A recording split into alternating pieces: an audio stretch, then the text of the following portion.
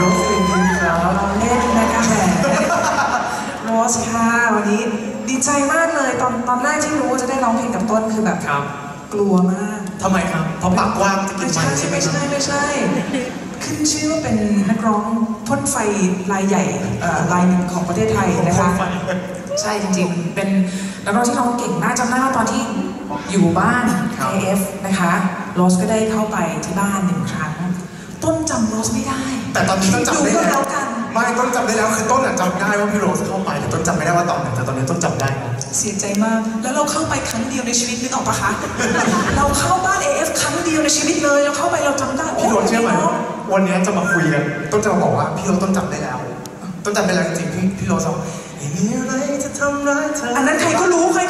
ก็รู้ใคร ดีใจจริงๆ เพราะว่าต้นเองเนี่ยเป็นเป็นเป็นแฟนเพลงของพี่โรสมานานมาก แล้วก็วันนี้ถือว่าดีใจแล้วก็เป็นเกียรติมากๆที่ได้มาร้องเพลงกับพี่โรสครับ ขอบคุณมากครับนี่ก็เป็นแฟนเพลงต้นเหมือนกันนะคะ ตั้งแต่ตอนประถมเลยนะคะที่โอ้ยยัยังไม่เข้าวงการเลยพี่ถามว่มุกเยอะนะเรารู้นะอีกนิดนึงนะคะปัจจุบันเล่นไปก่อนนะคะก็ดีใจมากๆที่ได้มาร้องเพลงร่วมกันดีใจที่ได้มาร่วมงานดีๆแบบนี้ด้วยนะคะนานทีจะได้แบบโอ้แต่งตัวขนาดนี้แต่งตัวไปไหนลูกเอ้ยจังเลยนะคะ ไม่จริงๆก็อยู่บ้านก็แต่งแบบนี้แหละตื่นมาตอนเช้าอะไรอย่างเงี้ยแล้วก็ชุดธรรมดาที่ตื่นมาไม่อย่างนี้เลยใช่หน้าผมอะไรอันนี้คือตื่นมาเลยนะอันนี่คือแบบหน้าหน้าสดหน้า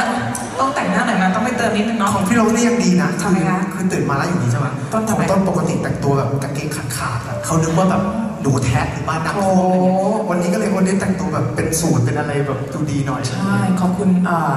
ทางคุณอีฟครับนะคะที่ ชักชวนพวกเรามาใช่นะคะครับก็ทำให้พวกเราได้มาเจอกับทุกท่านด้วยในสถานที่ที่เราโหทานแบบนี้นะคะ